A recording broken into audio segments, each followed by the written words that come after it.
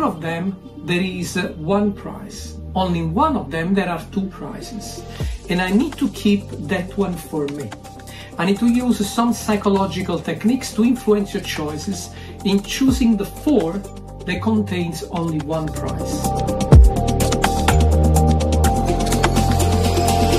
Which one do you want? I'm going to choose yellow. You could choose the yellow. Yeah. You see, this is a this is the classic reverse psychology.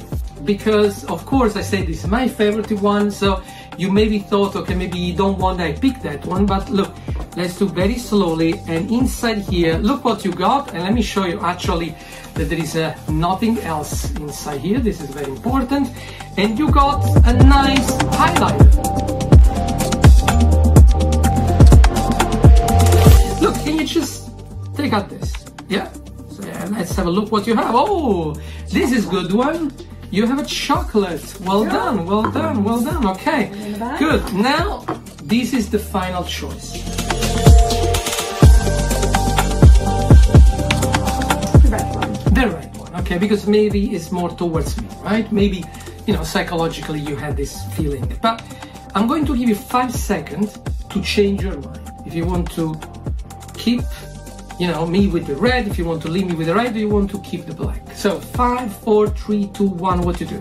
No, you can keep that. I keep this one. Mm-hmm. Okay, good. So look, I'm going to check this one here. Oh, you got, you got another chocolate. And look, I show you there's nothing else inside here.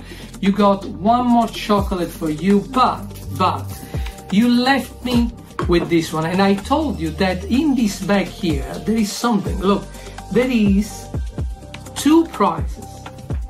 There is an highlighter for me, but also there is a nice 50 euro banknote, and I'm glad you didn't choose this one. But you know what? I'm going to give you also my prize. So kind. So you have a nice gift bag for this beautiful memory of this day. Thank you very much.